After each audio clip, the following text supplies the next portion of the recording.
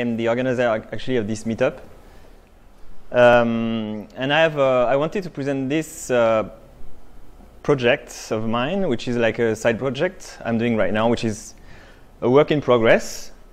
But uh, I started very small, and then it became bigger and bigger, and uh, I thought it was time to, yeah, give it a go and show to people what I've been doing, and uh, hopefully get some help from some people who are knowledgeable in databases or Golang or whatever. So how it started.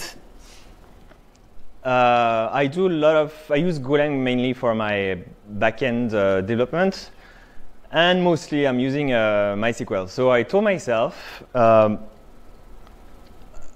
why not uh, benchmark whatever I'm using every day to see what's the optimal solution to, to do whatever I do. So uh, I just uh, set the usual assumptions. So I use uh, Google Cloud because I'm used to it. There's no reason why I could have used the AWS, no reason. Uh, latest Golang version, uh, VM. So I tested either on virtual machines, so all one virtual CPU, four, uh, almost 4 gig RAM, and no SSD, normal disk. Uh, but also on my local machine. Um, I test with around 10,000 requests per second and 50 con concurrent requests. This is customizable, of course. And my goal was to, so I started very small with a simple uh, schema with two tables. And my goal is to be able to test uh, different, uh, different schemas, uh, always uh, small to make sure that uh, it doesn't become too complicated. And also pluggable DBs. So I started with MySQL, and then it was uh, it was very nice. And then I told myself, well, it's that's that's already pretty good. It's, it's kind of working. So I started with just one small schema that I will show you later, and uh, MySQL 5.6, I think. And then I told myself, yeah, why not compare with uh, PerconaDB and MariaDB, which are binary compatible My, MySQL, because it will not add me much work, and uh, they are both available uh, in containers. So Percona is a 5.7, MariaDB is a 10.3, I think I used. Uh, and then I told myself, well, why not use also Postgres? Because I mean, everybody's talking about it, and it's like cool to uh, to have another um, uh, database system in there. I then had to adapt, of course, the creation and the, the SQL scripts, but uh, it was it's very similar, so it was not so difficult. And with the Golang interfaces, it's kind of make it very easy to do that. And then somebody told me, wait, why don't you use Oracle? Because in my company we use Oracle. And then that was a very painful decision uh, because uh, Oracle needs specific libraries in C and uh, Java, I think there's dependencies, of course, Oracle. And uh, you, there's only Oracle XE11 available on Docker Hub. But it was available, so I also added that. Then uh, my Microsoft also released uh, um, SQL Server for Linux, and it's available also on Docker Hub. So let's go for it. So I also, of course, uh, tuned the scripts for Oracle and Linux Server, uh, SQL Server for Linux. Sorry.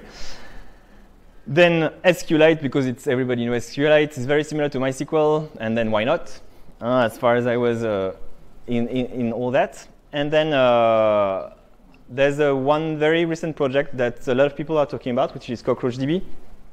And uh, basically, it's a RDBMS, but uh, cloud native. And uh, I wanted to know how far and how it compared actually to the other um, RDBMS. And it's 100% in Golang, so I was very happy to, to use it. Then I told myself, well, it, nobody uses that actually. So let's use, yeah, let's compare it also to uh, hosted MySQL and GCP, uh, so Google Cloud. And so uh, Google, because Google Cloud pro, uh, gives you access to, uh, as all providers, Amazon as well, of uh, MySQL hosted. And recently, they also added Postgres on Google Cloud. So I also added it. So I think that's it. yes. But I didn't stop there. I, I told you I, started very small, but I, it grew so much. And then I told myself, okay, I know Swarm, I know Kubernetes, so let's compare both of them as well and, uh, and see how all these containerized databases uh, behave in either Kubernetes or Swarm in the same setup. So unfortunately, I didn't have the time to test on Swarm on Google Cloud because it was not very convenient, and I didn't have the time. As simple as that. Uh, then uh, here are the first results that I have. So this is, as I said, a very simple uh, two tables. It's basically a one, uh, one way of doing things, which is actually very bad. But that's another story. I just wanted to benchmark uh, two table entity one, and uh, basically each time you change the status of the entity one, you save the status. And so for all this, um, I try to test uh, for all the things that I just said, except CockroachDB, which unfortunately failed. Actually, I'm going to talk to you the other one. So I, impl I implemented it uh, also in another way to see which one was faster. And on Kubernetes. So I've got all the results on Kubernetes, on Swarm for uh, all the databases. I got the throughput, uh, the minimal time, the maximal time, the median, standard deviation, number of errors, because I was surprised, but there are a lot of errors actually. Is? Uh, uh, so throughput is uh, transaction per second. Uh, mean time is nanosecond. I should perhaps turn it into uh, something more uh, readable. Is there an SQL statement somewhere? Sorry? Do you have the SQL statement? Uh, no, but it's basically a simple. So for the insert, it's a. It's, it's a There's for this one, it's a one insert. So this is a CRUD statement. So uh, create an update. So the create will, uh, for this schema specifically, will insert in status first, get the ID of the status, and then insert into uh, the second table. So that's two insert for the create. And for the up update, it's uh, one insert and then one update. Uh, and below, I have uh, select for a specific status. So I select one entity one with a specific status, and this second one is just a select by primary key.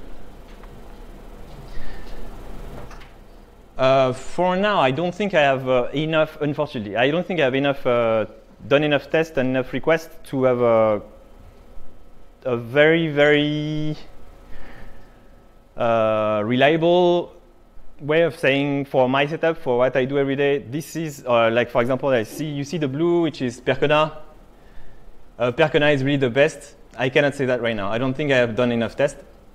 But that was very interesting to say that there are a lot of differences for sure. Uh, SQLite obviously is a, is a lot faster for selects because it's uh, local, it's not on the network, so it gives a, then we can just remove it actually. Uh, sometimes I have a Linux SQL server that behaves like a lot better than the others as well. Uh, the previous one.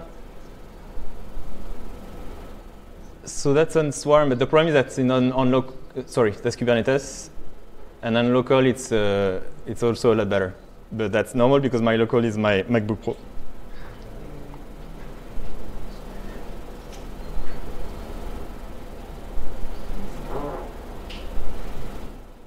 Uh, the number of errors is, uh, was actually very surprising.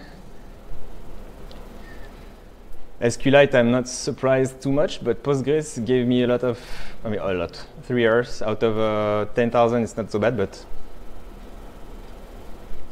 selects were pretty bad for Oracle for this time.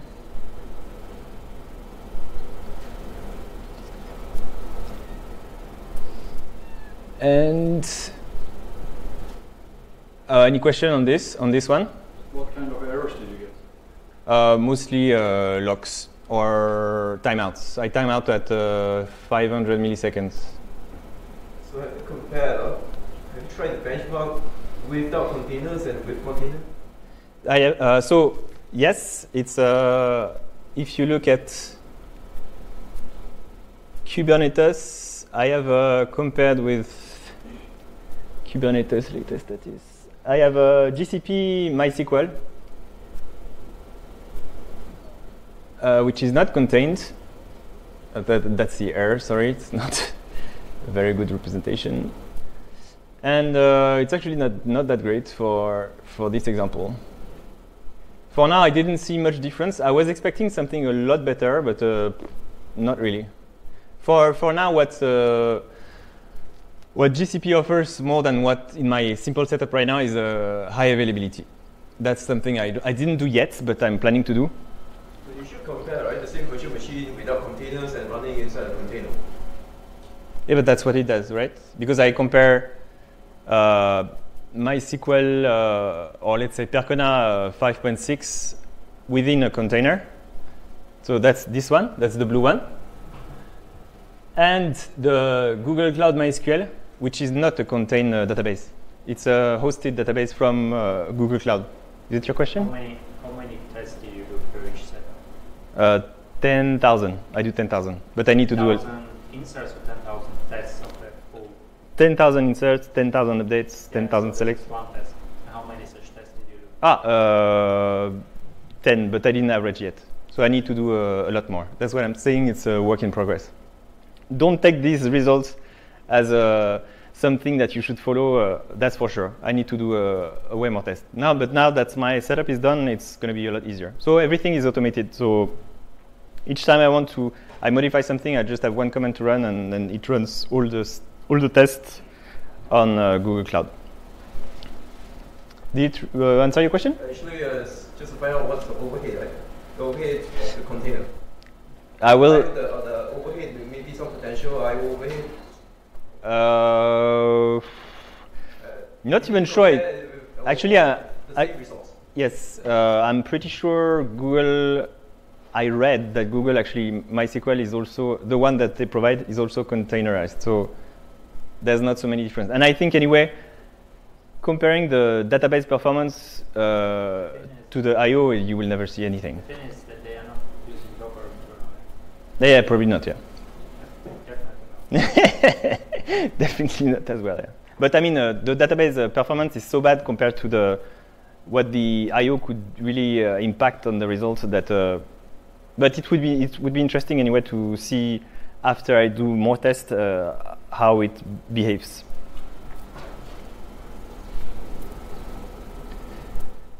Uh, any other question on this one?